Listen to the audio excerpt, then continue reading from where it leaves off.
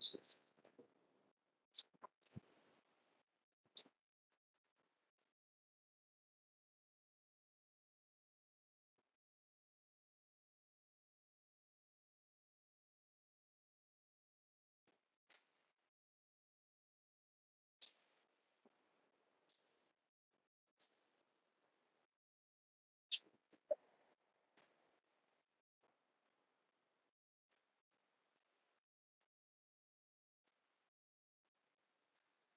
A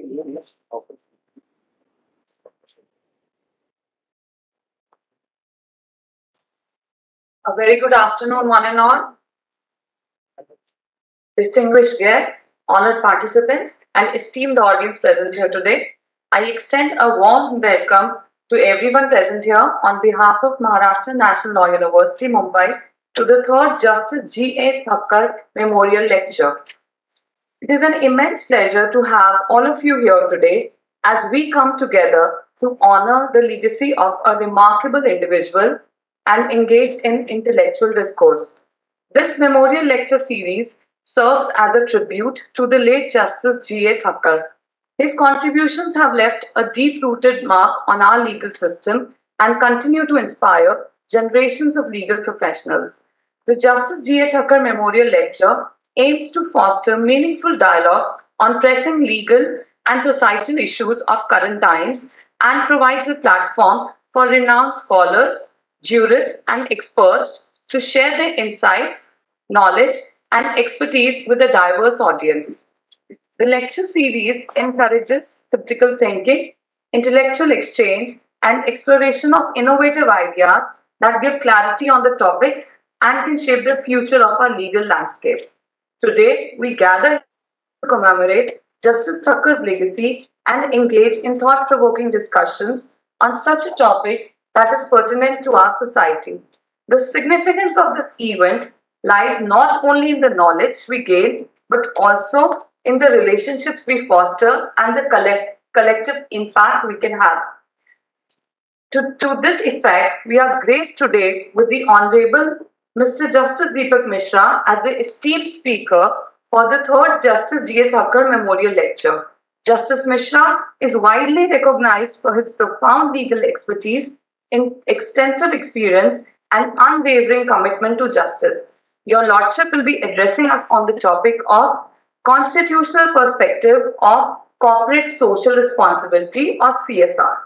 This subject holds immense significance in our contemporary society, where the role of corporations in contributing to social and environmental well-being is increasingly being recognized.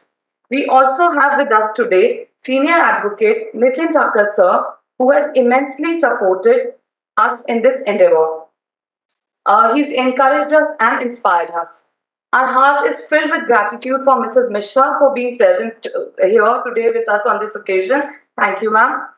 Commencing the third Justice G.A. Thakkar Memorial Lecture, we will now proceed with the lighting of lamp, which symbolizes dispelling of darkness and ushering of knowledge and wisdom.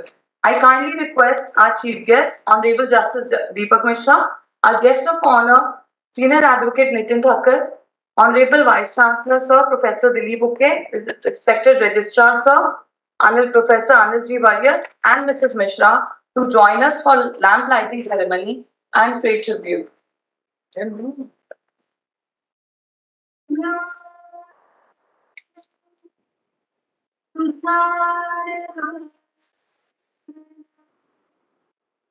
Yeah.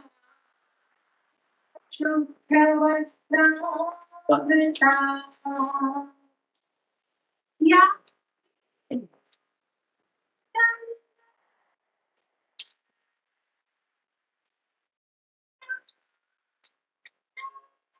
Ordinarily, they put something on top. Yeah.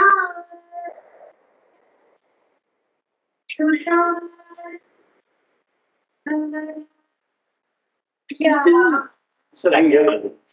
Her was down without. Yeah.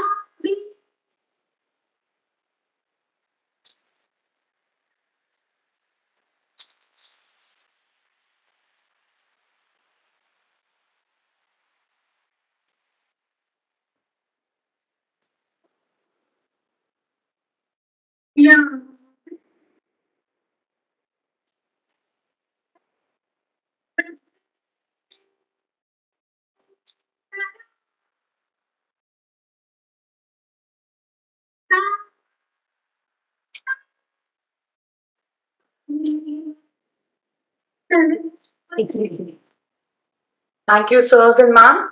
I request our honorable guests to be please seated on the dais.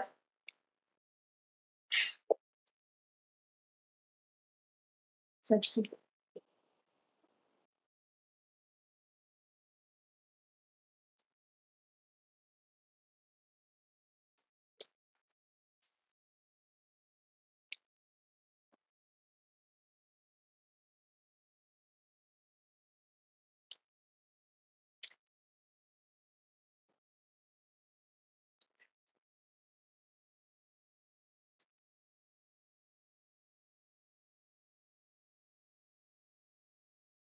Thank you. Now it is time for us to acknowledge and honor our esteemed guests.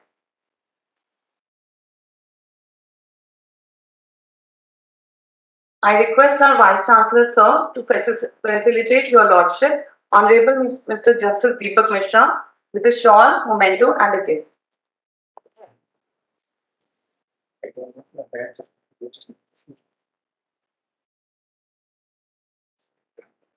Realmente.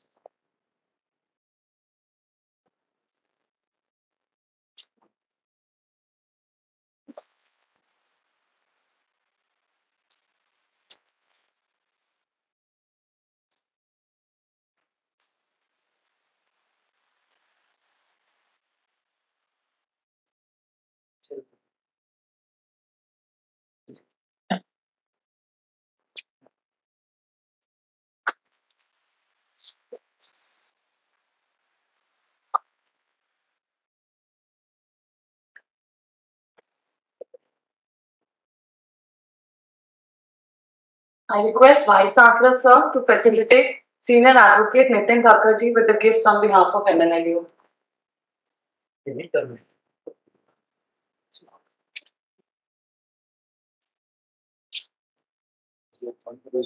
Meeting.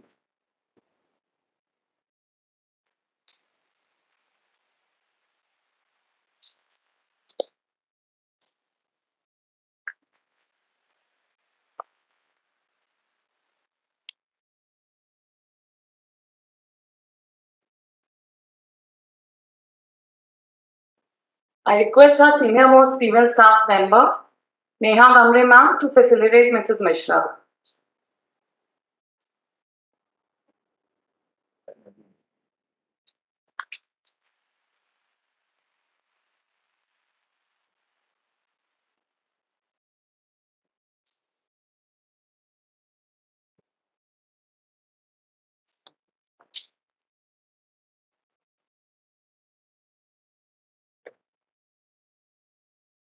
Thank you.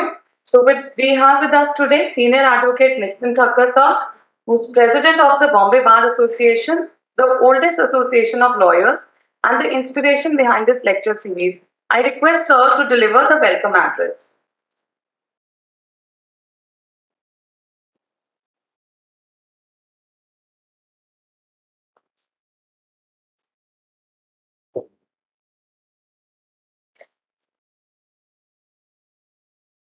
The Honorable Mr. Justice Dipak Misra, former Chief Justice of India, Dr. Dilip Ukey, Vice Chancellor, Maharashtra National Law University, Dr. Anil Variath, Registrar, Maharashtra National Law University, uh, Mrs. Misra, other faculty members of Maharashtra National Law University, esteemed invitees, students, ladies and gentlemen. A very warm welcome to you all. It is gratifying to look around and see so many familiar faces. There's a pleasing welcome to what I know is going to be a great lecture today by an eminent jurist, Justice Dipak Misra, former Chief Justice of India. On behalf of Maharashtra National Law University, Mumbai, I welcome you and express our gratitude for having undertaken this trip to specially come here to deliver this lecture. Let me inform you all that after COVID, Chief Justice Misra does not travel for work to Mumbai. All his arbitrations are conducted online. He has, however, made an exception to come today. Sir, I again express my gratitude for having agreed to deliver for having agreed to deliver third Justice G.A. Thakkar Memorial Lecture on the theme of constitutional perspective of corporate social responsibility. Justice Misra does not need any introduction. He was 45th Chief Justice of India. His judgments have endeavored to create a dynamic environment in the most positive manner. During his term, several landmark verdicts were delivered, such as right to reputation, online FIRs, Section 377 of IPC, Section 497 of IPC, Sabrimala, Aadhaar, live streaming of proceedings in Supreme Court. The list would be endless. Sir, thank you for accepting our invitation and be here. A few words about G.A. Thakkar and why this series in his memory. He was a self-made person. His father was having a provision store in Anjar, Kutch, a backward district at that time. After he passed his metric, at that time it was metric and not SSC, his father wanted him to sit in the shop and he made him sit in the shop. So his principal, who studied at Anand, came all the way from Anand to Anjar to persuade my grandfather that you must allow this boy to study because he is a brilliant student and he will be uh, something good in future if you allow him to study. So my grandfather made a condition that I will allow him to study provided I don't have to pay anything for his college fees. My father accepted the challenge and he gave tuitions to the class in which he was studying.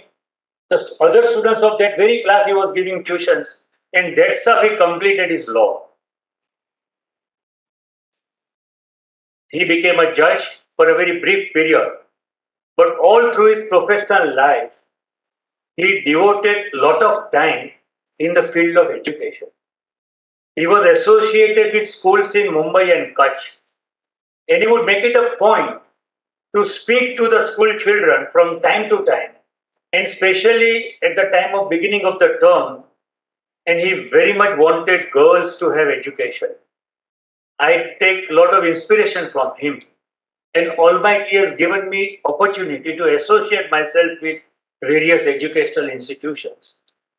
I wanted to contribute and give back to the society, and hence the endowment in his memory to Maharashtra National Law University.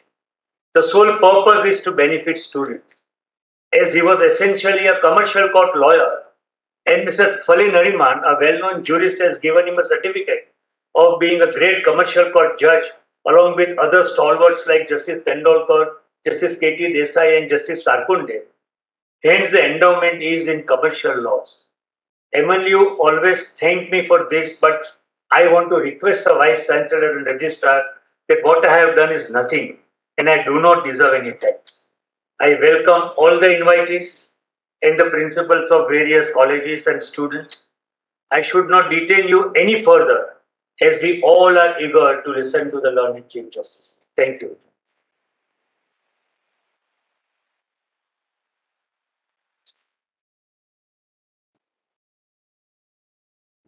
Thank you, sir, for your words of wisdom.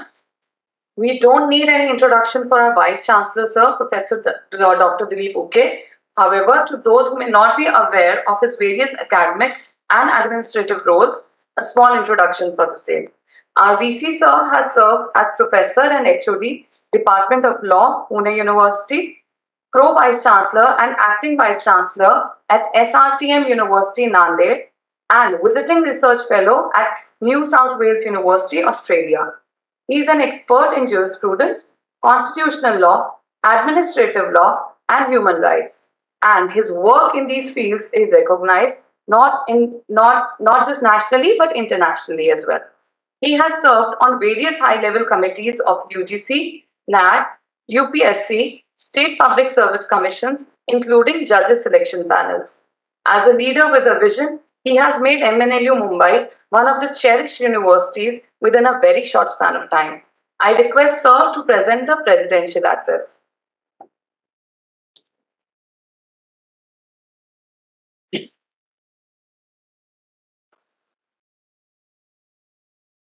Chief guest of uh, today's program, Honorable Sri Justice uh, Dipak Misra sir, former Chief Justice of India, the Senior Counsel and uh, a guide of Maharashtra National Law University, Mumbai, Advocate Nitin J. Thakkar, Madam Misra, Registrar Dr. Anil Variath, family members of uh, Advocate Thakkar sir's, uh, Thakkar sir, all other dignitaries present over here, and dear participants. A very good evening to all of you. Maharashtra National University, which was established in the year 2015 under the Act of 2014. Just a few days after, we'll celebrate our Foundation Day. Started with one section of BLLB honors and two students of LLM. In the span of uh, now eight years, Maharashtra National University has grown up academically at national as well as international level. Today we have students of BLLB honors in two sections, LLM, and we have four LLM. One is regular LLM, another one is LLM in investment and security laws, which SEBI is the National Institute of Security Markets. The third one is LLM program for executive, wherein advocates, judges, who take an admission. And fourth one is LLM in corporate insolvency in association with Bombay Stock Exchange. We also MA. Maharashtra National University Mumbai is the only university, not only in India but in whole Asia, which offers a master's program that is MA in mediation and conflict resolution. Along with that, uh, from this academic year, we are launching two MBA programs as well as uh, we have near about 20 centers which offers almost 12 diploma courses. In addition to that, we have also PhD programs. Right now, rather, the workshop on research methodology, 10 days workshop on research methodology is underway, is going on.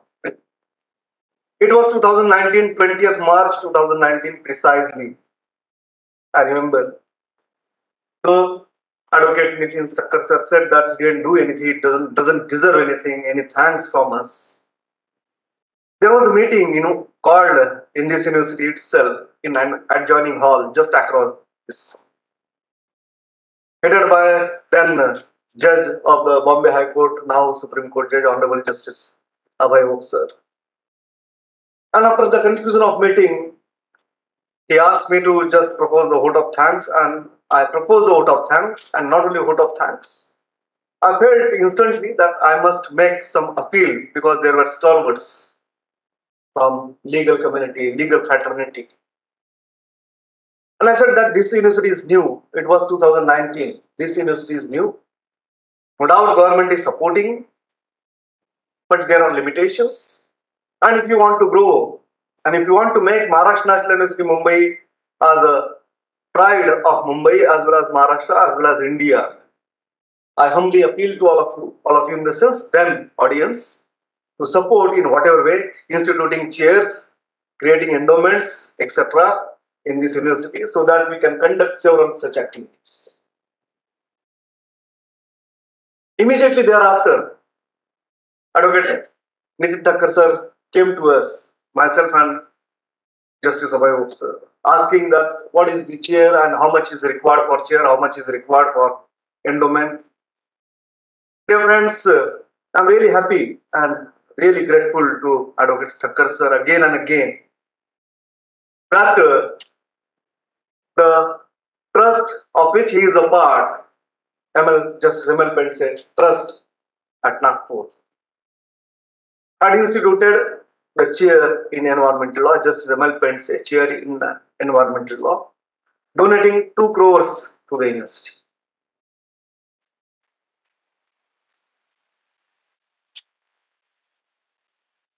And then uh, again, Thakkar sir has asked me what is an endowment and how much it is required.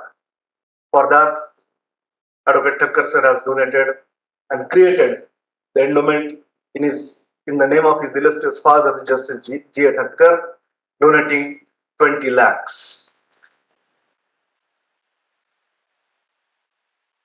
Moreover, we did not have to say anything, we did not have to pursue anything, rather, it was he who were after us that come and collect those checks. Today, we are having Honorable Justice Misra sir's lecture on corporate social responsibility. What Advocate Thakkar sir did then is corporate social responsibility, we call it as a CSR. What Advocate Thakkar did then was an ISR, that is individual social responsibility. Sir, we are indeed grateful. And on behalf of the university as well as all my colleagues and students, we express sincere thanks to you for generously donating this. And under the chair as well as under the endowment, we are conducting several such activities and one is the lecture series. As you know, that uh, Honorable Justice Misra sir is going to deliver a talk on constitutional perspectives of corporate social responsibility. I do not wish to commit any kind of a constitutional trespass about the subject. Dear friends, when Constitution, Indian Constitution, and primarily its preamble talks about justice, social and economic justice. From that point of view, the corporate social responsibility assumes much of the significance. The private corporations, even, because it is the state which supports, impliedly or otherwise, providing land, electricity, water, and when they generate huge profit or some profit, it is also equally their responsibility to share that from the point of view of justice, economic justice, as well as Article 39 B and C of the Directive Principles of State Policy. The corporate social responsibility may be of uh, economic in nature, maybe philanthropic in nature, maybe ethical in nature,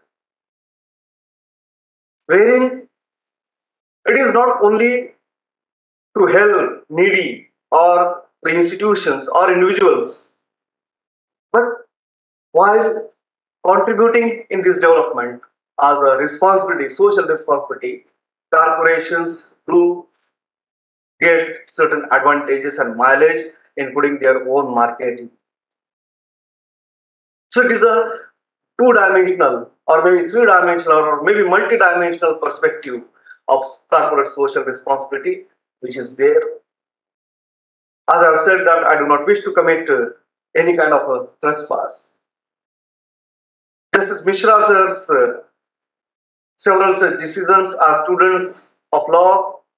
Majority of us or all of us have read, including some of the judgments wherein Honorable Sir has talked about transformative constitutionalism. So transformative constitutionalism and corporate social responsibility, wherein the basic aim, basic object of CSR or corporate social responsibility is to transform the society, is to contribute into the social, societal, as well as nations development, nations building.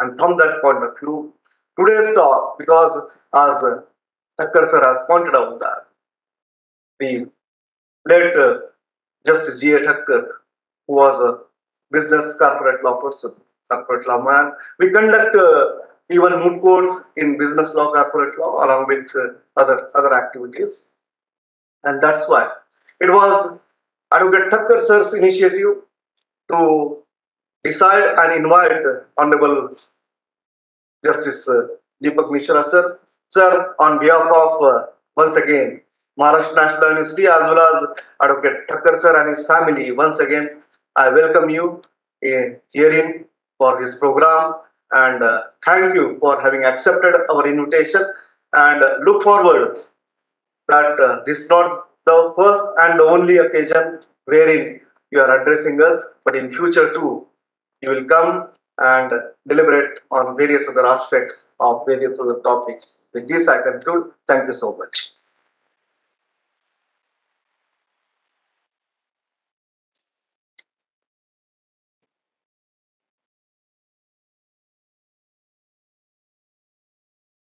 Thank you, sir. Thank you for all the in-depth analysis that you've given us about the topic which we are going to cover now. So I request the program coordinator, Ms. Manisha Katyal, to introduce our distinguished speaker.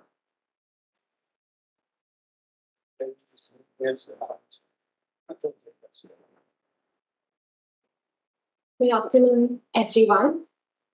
His Lordship Honorable Mr. Justice Dipak Misra was born on 3rd October 1953 and enrolled as an advocate on 14 February 1977 and practiced in constitutional, civil, criminal, revenue, service, and sales tax matters in Orissa High Court and Service Tribu- Tribunal.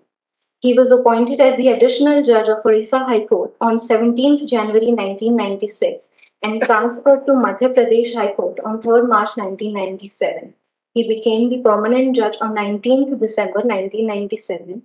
Uh, Your Lordship assumed the charge of the office of Chief Justice of Patna High Court on 23rd December 2009 and further the charge of the office of Chief Justice of India on 24th March, uh, 24th May 2010. He was appointed as Chief Justice of India on 28th August 2017 and further retired on October 2, 2018.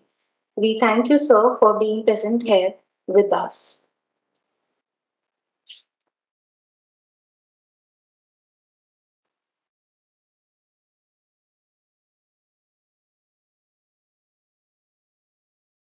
I request your Lordship to proceed for Justice G. A. Thakkar Memorial Lecture on the theme of constitutional perspective of CSR.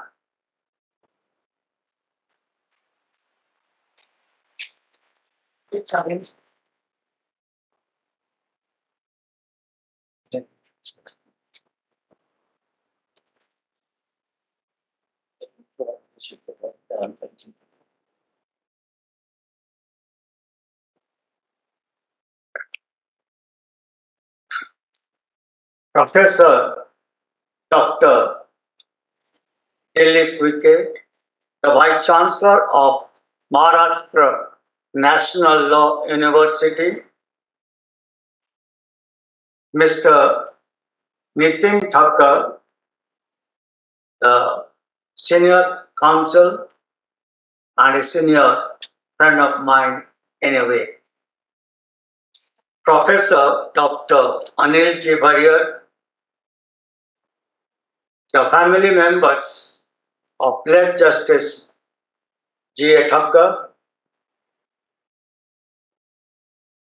the members of the faculty, my dear students, I would like to call them friends. Friends from the electronic and print media, ladies and gentlemen. Before I proceed with the lecture, it's my obligation to speak about my presence over here and late Justice J. A. Thakkar. I must say,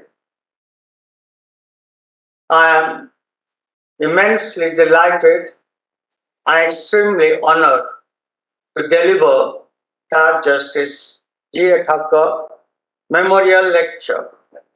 Justice Thakkar, as I have understood, was a man of great determination. His commitment to justice is quite well known in the legal circle.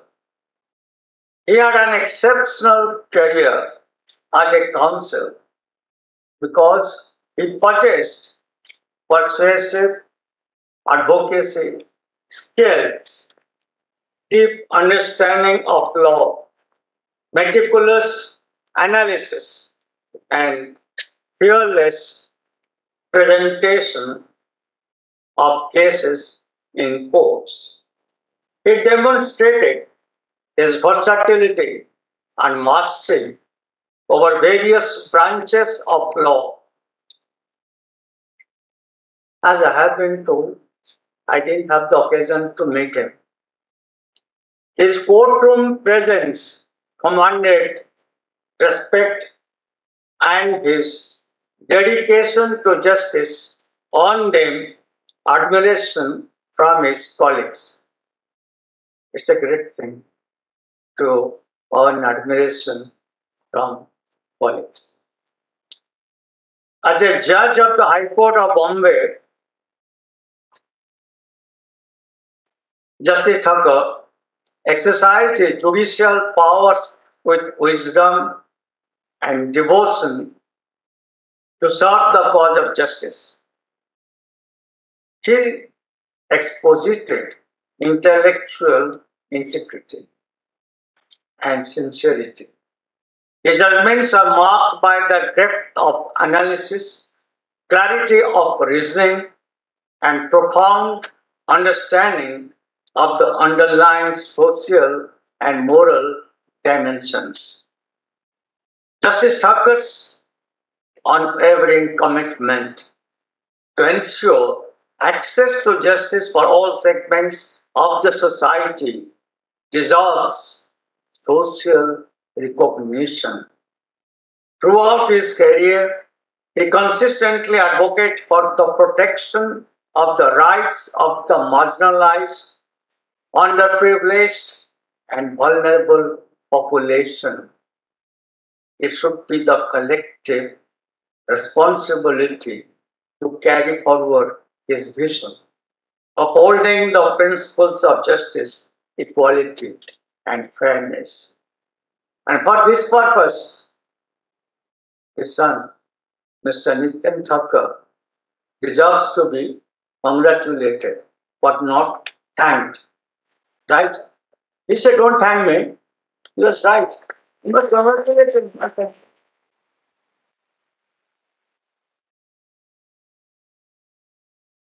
Presently, let me advert to the topic of the lecture constitutional perspective of corporate social justice.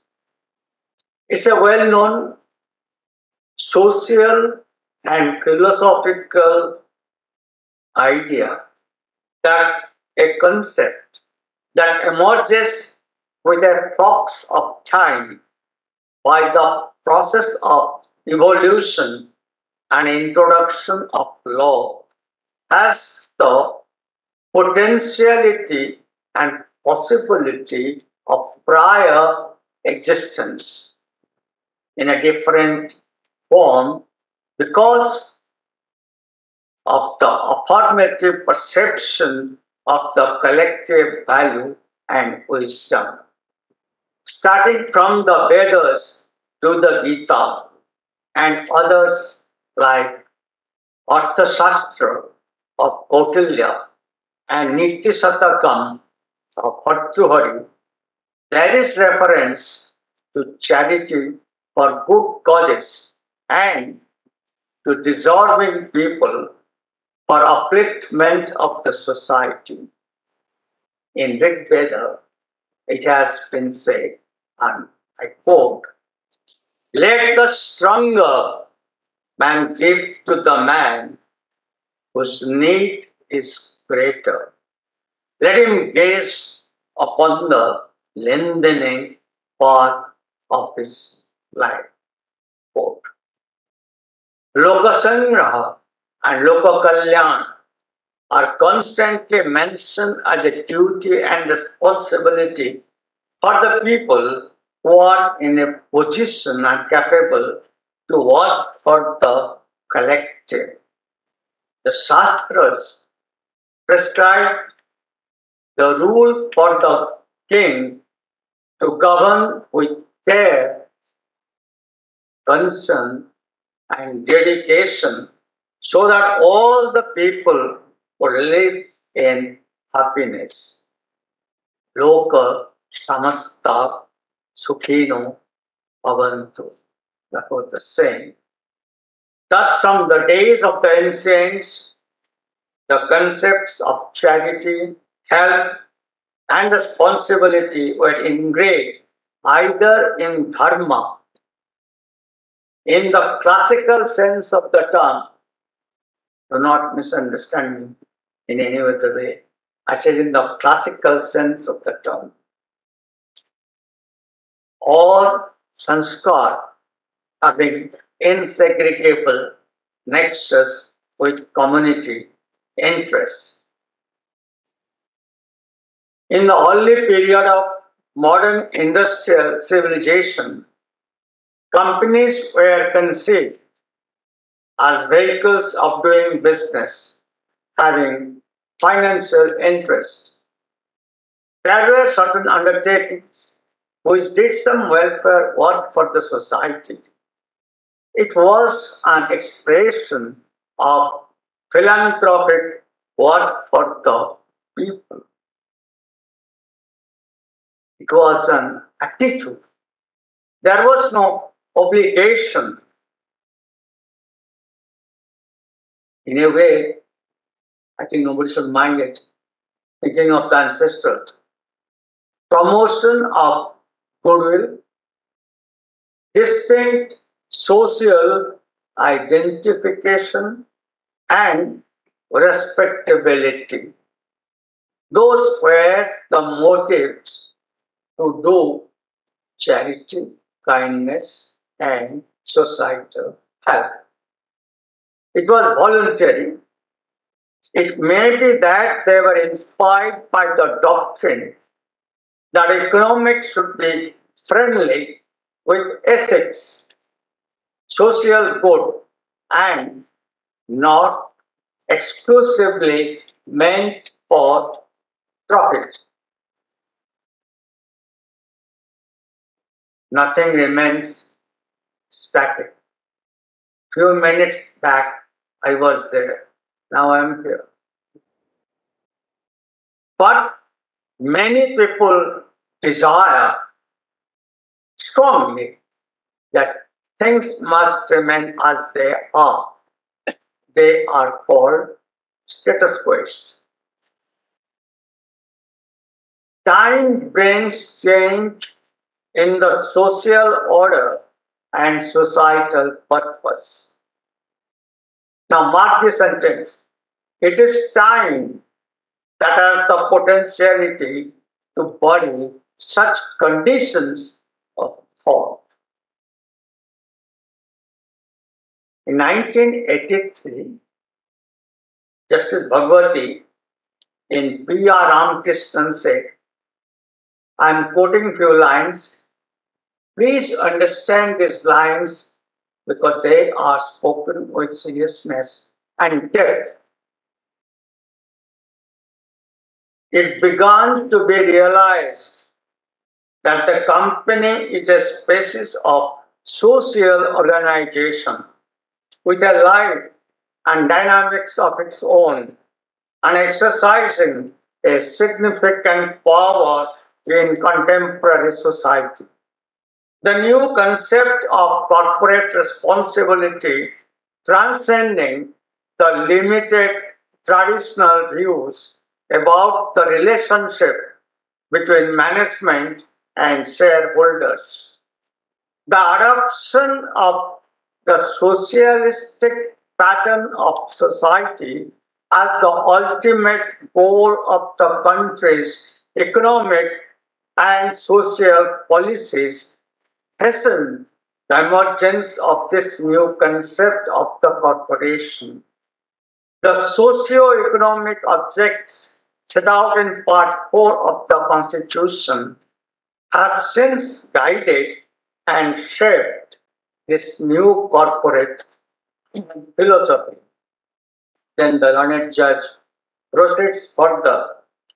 Today, social scientists and thinkers regard a company as a living, vital, and dynamic social organism with a firm and deep rooted with affiliation with the rest of community in which it functions.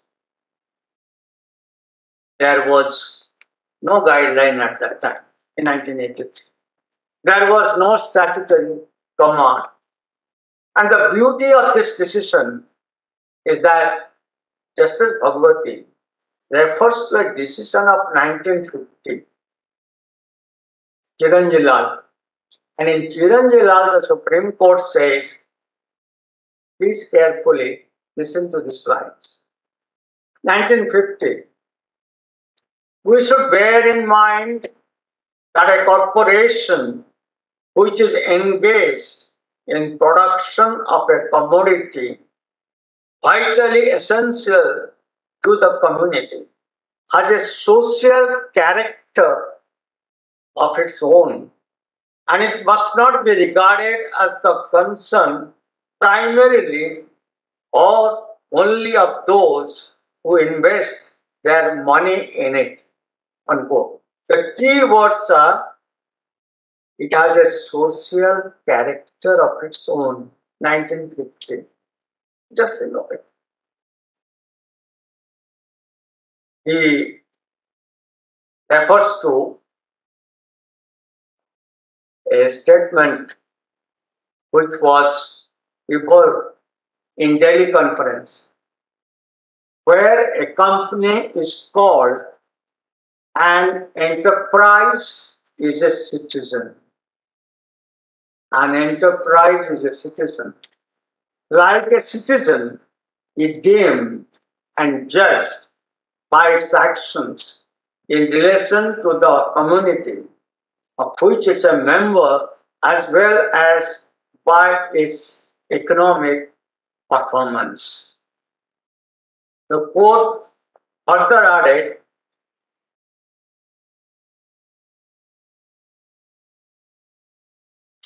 that is why it is regarded as one of the paramount objectives of the company to bring about maximization of social welfare and common good. Four years after, Justice Bhagwati, presiding over the Constitution bench, said, I quote, we, may point out that this court has throughout the last few years expanded the horizon of Article 12 primarily to inject respect for human rights and social conscience in our corporate structure. You see, you read decisions, articles with regard to corporate social responsibility. Just one angle. Go in depth as students of law. Try to understand how it emerged, how the courts interpreted, how the thoughts emanated. In the absence of that, it becomes absolutely statistics. And law is not simple statistics. Law is understanding of social philosophy, concern for justice, social, political, economics, and the desire to frame legal propositions in a syllogistic manner. I am I was dealing with a matter as a member of the three judge bench in Aneeta Hada. Question arose whether a company should be a party to a proceeding under section 138 of the negotiable negotiable instruments act i had the opportunity to state and i think that is what everyone would say so a company has a reputation The purpose of saying this is that the commercial concerns and collective good have been recognized by the highest constitutional court and that there has been a transformation. When you talk about transformative constitutionalism, it's not that the only constitutional principles get transformed. No. The renaissance of the constitution spreads over the statutory interpretation when you view them with that kind of constitutional spectrum.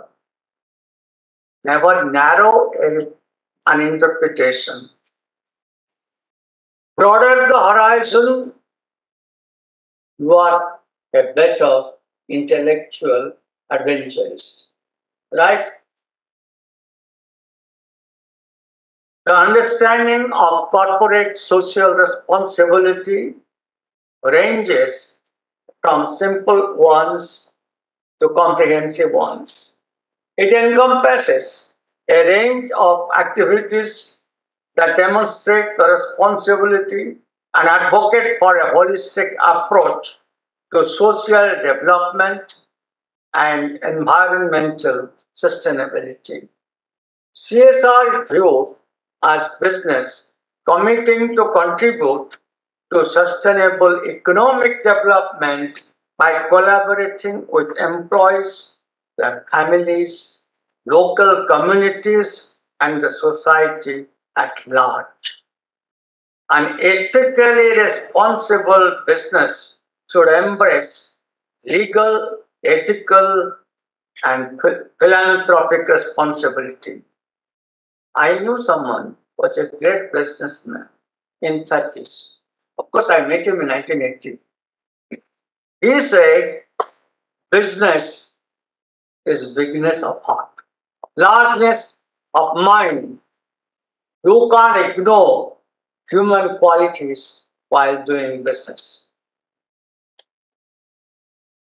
Now, the number of lectures are being given human rights and business.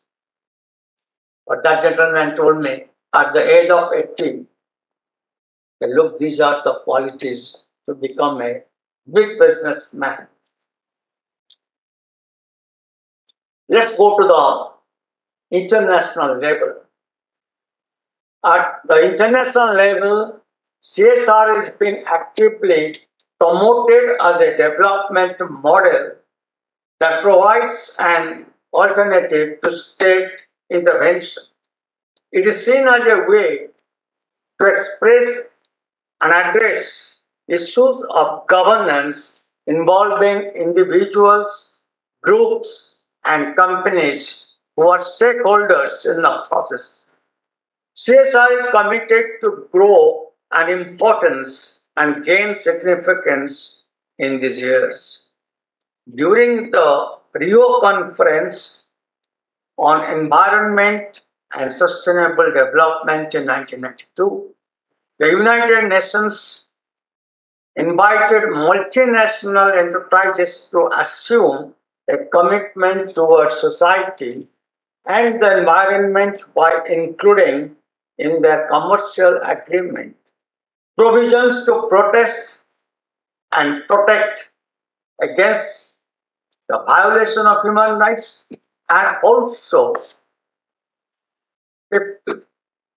in books said the fundamental principles of basic human rights, workers' right, and the environment in its own place.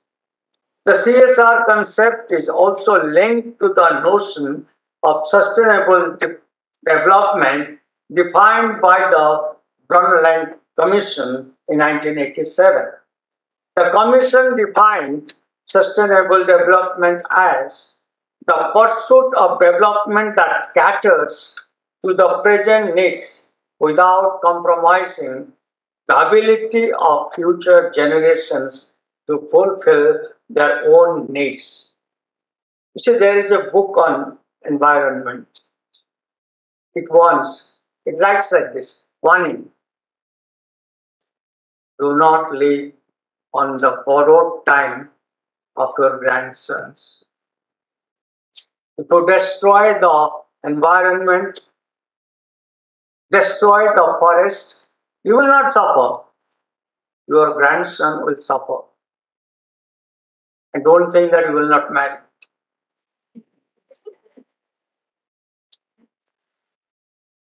There have been numerous attempts at the international as well as national level to deal with impact of human rights of corporate activity through legal regulations. In 2011, UN Guiding Principles on Business and Human Rights rest on three interrelated pillars. One, the state's duty to protect. Two, the corporate responsibility to respect. And three, access to remedy. The principles offer a common ground from which to begin the work of implementation. As the emphasis was not more on creation of new international obligations,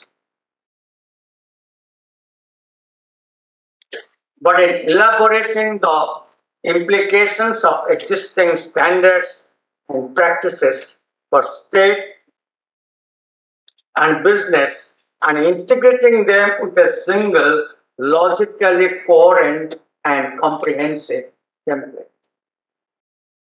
It should be borne in mind that it would be an illusion to imagine a successful business when the society around it is self failing. A prosperous and growing society the sine qua non for any business to succeed, and the reverse is equally true. That is the fulcrum, that is the bedrock.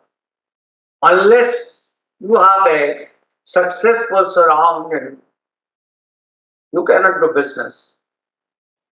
You cannot do business in a barren land. You cannot have garden in a land that cannot grow flowers. I'm, I'm telling it in a metaphorical sense.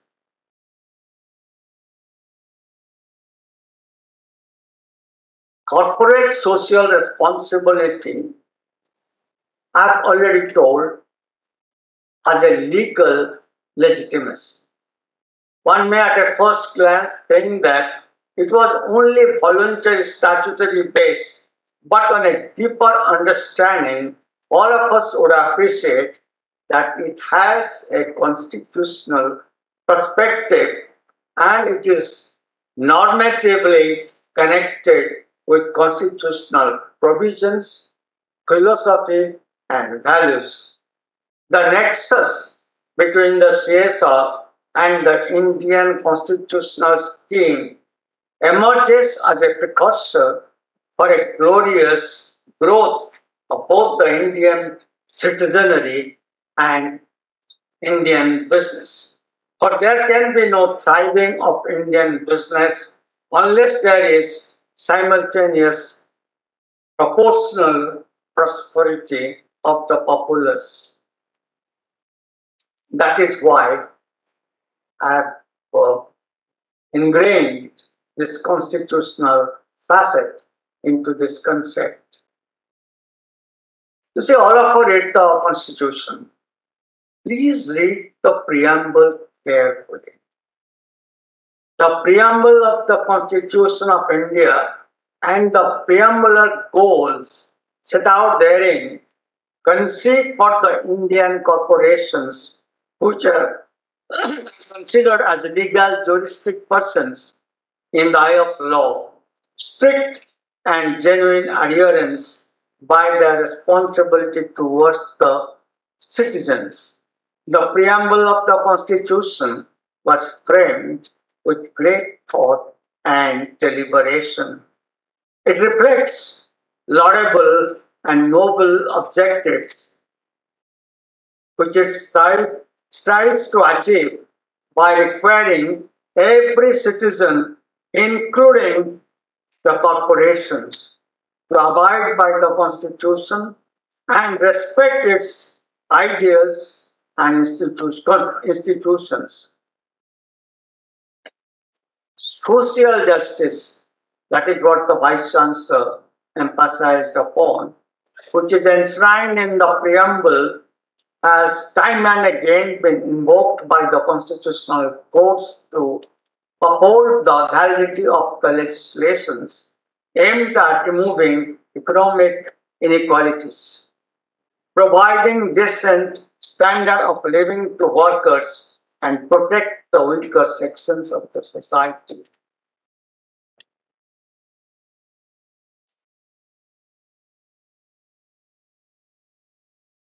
In 1998, one of my colleagues asked me, So, nothing which is fundamental and constitutes a basic structure of the constitution can be amended. So, right, then how could in 1976 the parliament introduce the term socialist in the preamble? Enhancing the constitutional goal or making the spine stronger, there is nothing wrong. You can always afford to have a supple spine. And socialist as a term enhances the strength of the spine of the constitution.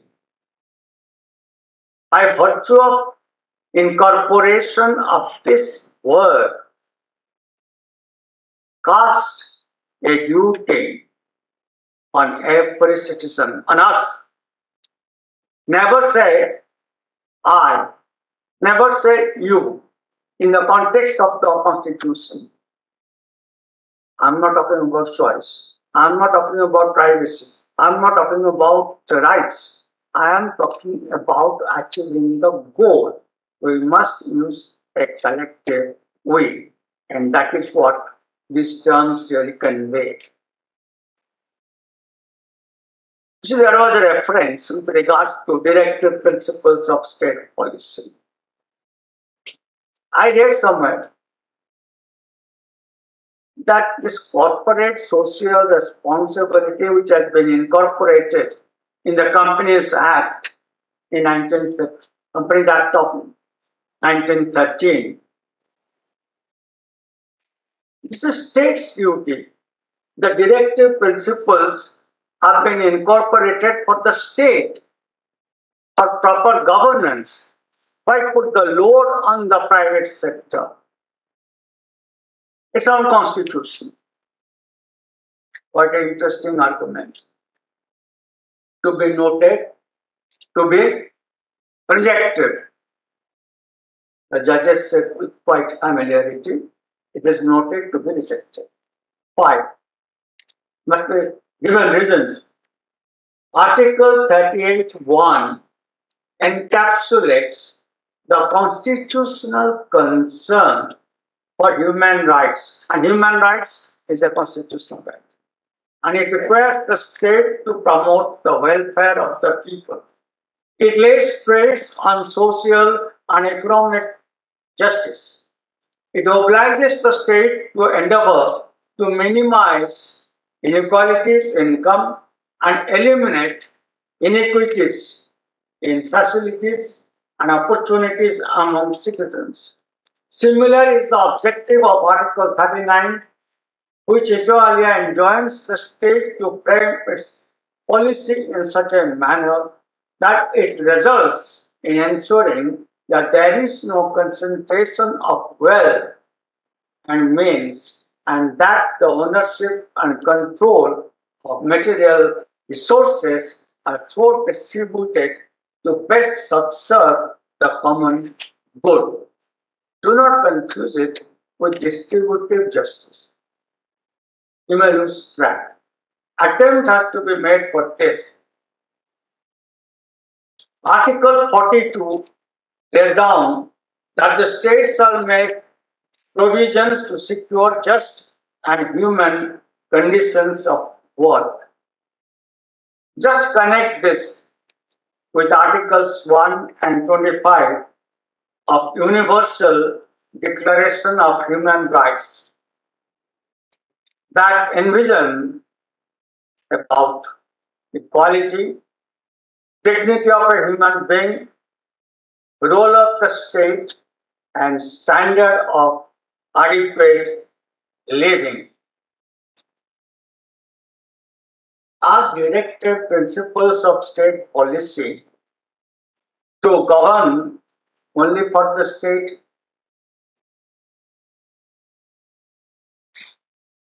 as a leisure being and nothing to do with corporate sector. We have to go back to 1983, that decision of Justice Bhagwati. What he said, I quote,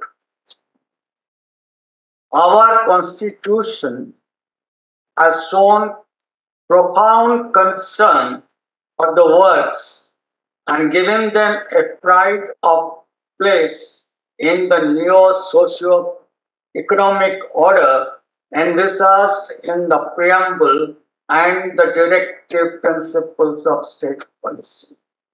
The preamble contains the profound declaration pregnant with meaning and hope for millions of peasants, workers that India shall be a socialist democratic republic where social and economic justice will inform all institutions of national life and there will be equality of status, an opportunity for all, and every endeavor shall be made to promote fraternity, ensuring the dignity of the individual. Any statutory scheme that meets the concept of social justice and conception of human rights cannot be regarded as constitutionally unsustainable or invalid. Therefore, the argument that why do base everything on the directive principles of state policy or the corporate social responsibility to get support from the constitution. The bedrock was laid starting from 1950 to 1980 and thereafter a number of decisions. All of you know, because you have come to attend the lecture, definitely at least must have seen the chapter under the Companies Act and 7C attached there, appended there, annexed there. Use any word that suits you. It deals with setting homes for women, orphans, senior citizens. Eradicate hunger, poverty, malnutrition. Ensure environmental sustainability, protection of national heritage, education, and socio economic development for scheduled caste, scheduled tribe, and others. Now, education and other things that have been mentioned, they gain support from Article 15, Article 16, Article 21, and 21A from Chapter 3, the Constitution. 21 C has been interpreted in many spheres that it cannot be not only negation of life, there has to be affirmative concepts ingrained into Article 21.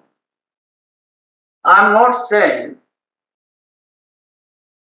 the individual rights now, but to live with dignity, to live like a human being, not to have animal existence or just existence.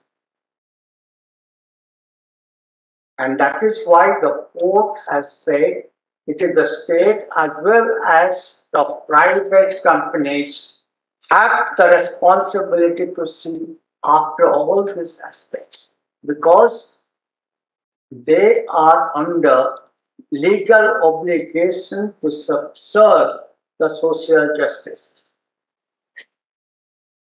You see, I am as a student of law. I consider myself as a student of law. I hope all of you do that. The High Court of Bombay acknowledged the significance of CSR in the realm of healthcare in the verdict, court on its own motion, wherein the Indian Medical Association, Vidarbha Hospitals Association, and the government were instructed to collaborate and establish a protocol aimed at enhancing the level of sanitation and hygiene with hospitals while so promoting awareness among, among physicians, patients, personnel, and other relevant parties. Inclusive, absolutely all inclusive. And I must say, I repeat, I respect this decision of Bombay High Court, the student of law, and I appreciate as a law researcher. And I presume all of you are doing it.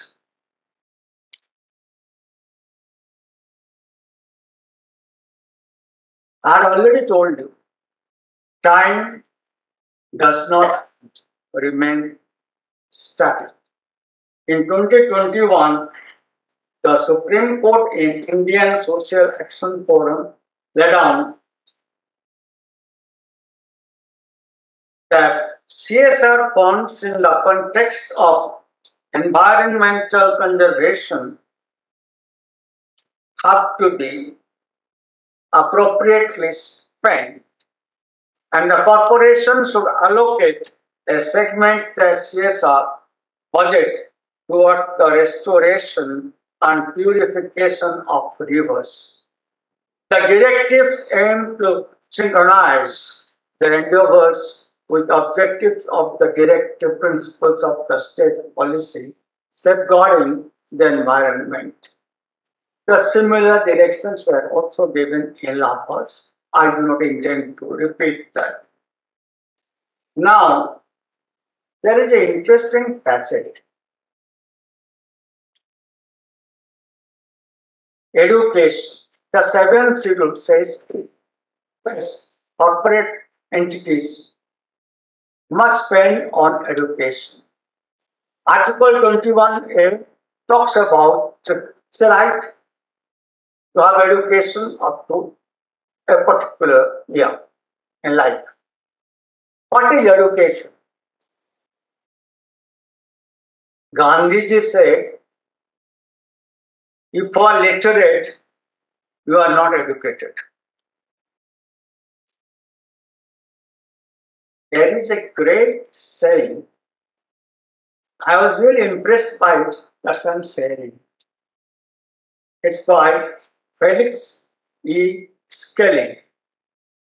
He says, true education makes for inequality. The inequality of individuality, the inequality of success, the glorious inequality of talent, the genius. I must explain this. You see, all of us are not equally talented. We do not have that kind of elephantine memory like others. We don't have the talent. We don't have the genius. But if we have the true education that makes up for all these inequalities.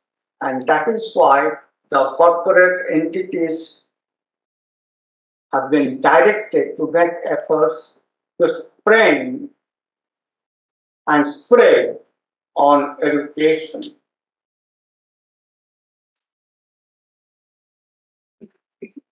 See, I'm compelled to say, otherwise why I'm here?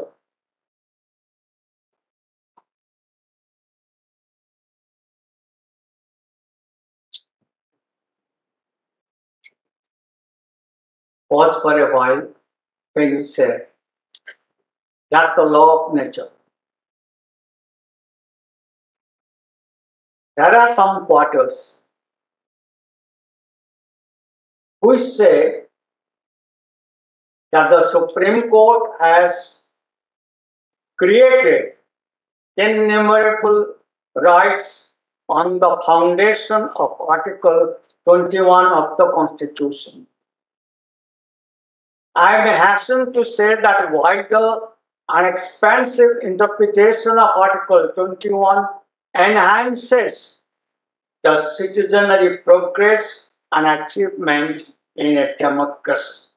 Unless such progressive interpretation is understood and respected, the whole thing may entail a mere existence and absurdity. I am sure um, who are students here? Please raise your hands. Okay. I am sure I am present here to express my indubitable attitude. I am sure my young friends are the filaments of future generation will guide the same, guard the respect of Article 21 and let there be 30 more rights be created taking aid of Article 21. And you, are, you people are going to do it in future. By arguing in law, in courts, or otherwise. I can't predict the future. In a body polity like ours, where the constitution is the supreme fundamental law, constitutional governance as a core concept is neither hypothetical nor an abstraction, but is real and concrete, which has the effect to steer and navigate the CSR models of Indian corporation. You see that nuclear plant, you must have heard, in Tamil Nadu. I was a party to that decision. Lot of things were spoken are good. The court said, after holding it's all right. It's permissible in law. India needs a kind of electricity. How to sustain? Then the court said, and I quote, NPCIL, in association with the district collector, Tirunelveli should take steps to discharge NPCIL corporate social responsibilities in accordance with DPE guidelines and there must be effective and proper monitoring and supervision of the various projects undertaken under CSR to the fullest benefit of the people who are residing in and around the place. Straight, direct, follow CSR. And how to follow? It's given there. You can get away from it.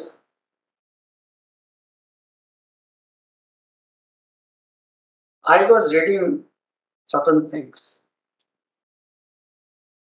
You see, all of us talk about uh, corporate uh, social responsibility. I've been a chairman of a jury with regard to CSR. Who is doing well? I came across a passage by Professor Dow Votaw. I don't know how it is pronounced, but let's pronounce it this way. He says, please listen to each word of this. The term is a brilliant one. It means something, but not always, the same thing to everybody. To some, it conveys the idea of legal responsibility or liability. To others, it means socially responsible behavior in an ethical sense. To still others, the meaning transmitted is that of responsible for in a more. Many simply equate it with charitable contributions. Some take it to mean social concerns, unaware. Many of those who embrace it most fervently see it as a mere synonym for legitimacy in the context of belonging or being proper or valid. A few see it as a sort of fiduciary duty imposing higher standards of behavior on businessmen that on citizens at large. It doesn't define, it tells you how brilliant it is and how difficult it is. Really. Now, why I was thinking, why companies are competing nowadays, who is going to get more acceptability with regard to CSR? It is indubitably a praiseworthy phenomenon and it could not be out of place if it is treated as competition or social constitutionalism or social constitutionalism. I must conclude now. I would like to say that corporate social responsibility, when approached from a constitutional perspective and human rights angle, holds immense potential. Transparency, accountability, and stakeholder management are crucial in ensuring the effectiveness of CSR initiatives and building trust with communities which we serve. Now there is a warning. Warning by Mervyn King, a member of House of Lords and famous British economist. He says,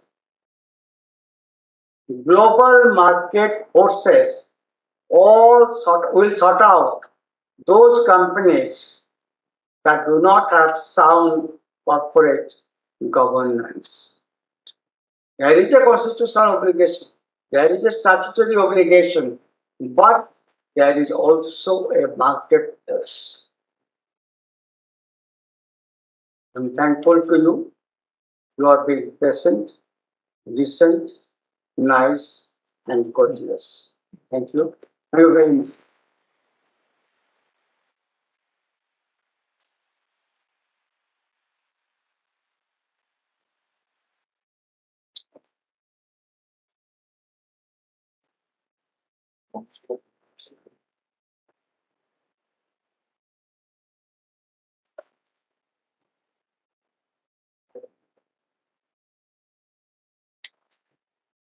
Thank you, Your Lordship, for today's address.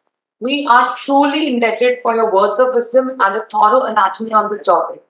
And having the opportunity of holding mic in my hand, I'm taking liberty to add my personal opinion that we are in fact extremely lucky to be present here today. It is truly an honor, Your Lordship.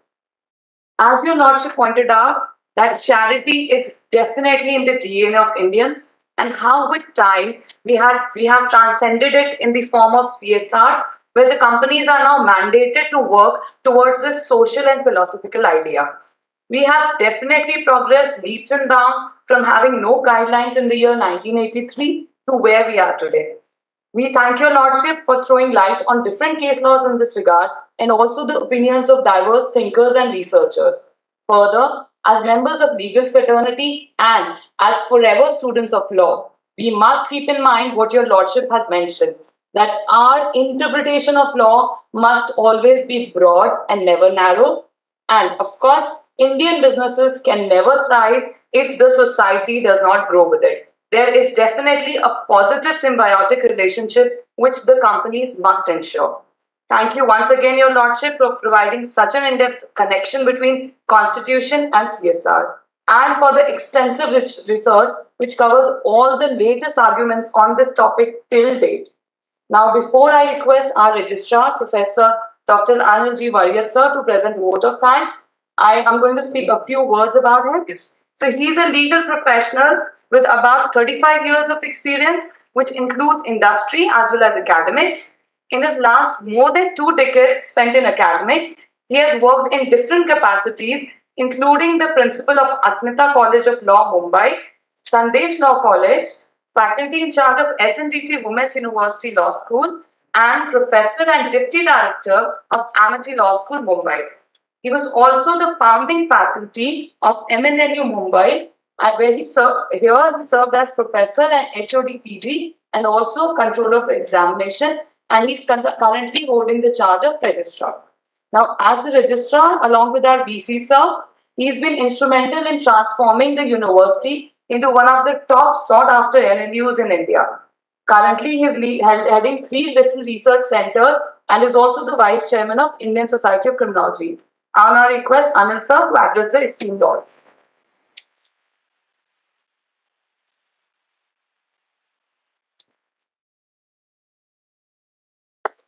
Most respected chief guest, His Lordship, Honorable Justice Dipak Krishnaji, Honorable Vice Chancellor, Professor Vinny Mukesh sir, Senior Advocate and our one of our mentors, Sri Nitin, D- Nitin Thakkarji. All the participants who have assembled here and uh, all those who are watching this program online, it is my privilege to express a formal vote of thanks. But I consider myself lucky to be associated with all the activities of uh, Justice A. Thakker Foundation in Maharashtra National Law Universities, right from the first lecture delivered by His Lordship Honorable Justice Sri Krishna, the moot court competition, the national conference, everything. This time, when we were planning to have the third lecture, and on request, when His Lordship has conveyed the date of today as a convenient date, we had a challenge. The challenge is that our university is having holiday, we are having vacation now, and our students are not here. So, how to get the gathering? That was the challenge. Even even our honorable vice chancellor has asked me from where we will get audience, and even Nitinji also asked. I said it will come. Why? Because in 2018, one of my LLM students have come to me with his disruption topic. The topic was socio-legal dimensions of Mr. Justice Dipak Misra judgment. To guide someone, as a guide, I should also want them. I, I also want them. And after working up on the topic, reading his judgments, I developed a wish that I must at least once I should listen to his lordship. So I was sure that there will be thousands of people who share the same wish. That is what we see today here. And as are aware, we have space constraints because we are operating from a rendered premises. So three days back, we had to close formally our online registrations. Then again, enquiries were coming, and we said, "Hey, don't worry, we will live stream it online." So that is how we accommodated. And today is also a day for my uh, personal selfish satisfaction also. So I like to express my deep sense of gratitude from the bottom of my heart on my personal behalf as well as on behalf of the Maharashtra National Law University Mumbai family and also on behalf of all the participants who have joined us today. Lordship, we are extremely thankful to you.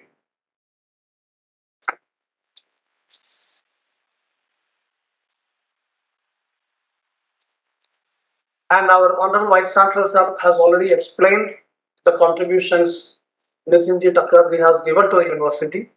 And my association with him lasts for more than 20 years and I, as a junior advocate, to brief some matters to him when he was practicing as senior counsel in uh, High Court as well as DRT. And I'm so happy that uh, again I get more opportunities to interact and associate with him. Sir, the entire Maharashtra National Law University, Mumbai is indebted to you for all your support, guidance, and mentorship.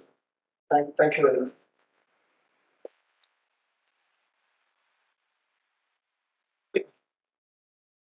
Eight years is a small period as far as a university is concerned.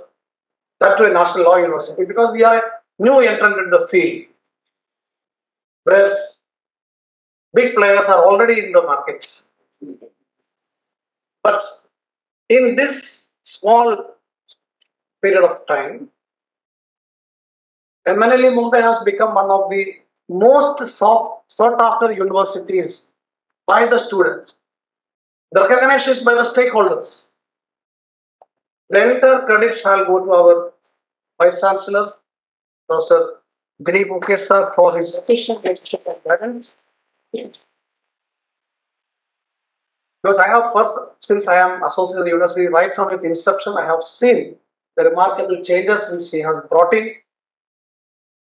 So this pro- program is also is done with his blessings and his guidance. Thank you very much, sir, for all the support. And I acknowledge the presence of so many of our partners and well-wishers, including practicing lawyers, students from other law colleges, our own research scholars, principals, members of faculty, for example, Dr. Madhura, Dr. Suti, Subhangi Deshmukh, then Dr. Gurbet Sani, so many people. I can, uh, Dr. Rahi, who happened to be my student also now, he's at Krishna College. So uh, it's not possible for me to name everyone. The Family Court Bar Association, the president and other office bearers, Sasinar and other office bearers are here, and so many advocates in the from the nearby Bar Association. So I will be failing if I do not mention each and everybody's name and thank them. But it's not possible. Therefore, I take this opportunity to thank all of you for all the support and uh, uh, support and companionship you have given, because it is your strength which takes us forward. And behind the success of every man, there is a woman, it is said, who sacrificed so many things for the success of the man. Sometimes they are given the acknowledgement, sometimes they have not been given. But when yesterday I went to receive his lordship in the airport, we have been fortunate to see madam also along with. Then we made a small humble request that madam should also be here so that we will be able to uh, pray, our, pay our respects to her. So, madam, so much thanks for blessing us with your kind presence. And I do not take much time. So, with these words, I once again thank each one of you for your kind support, cooperation, and encouragement. And we look forward to you the same support in future also. Thank you very much.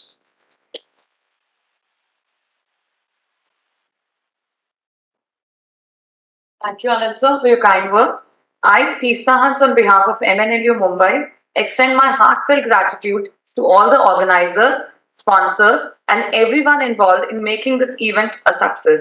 Your dedication and efforts have made it possible for us to come together and pay tribute to a remarkable legal luminary. With that, we would like to end today's lecture and request you all to proceed for high tea. Thank you, everyone.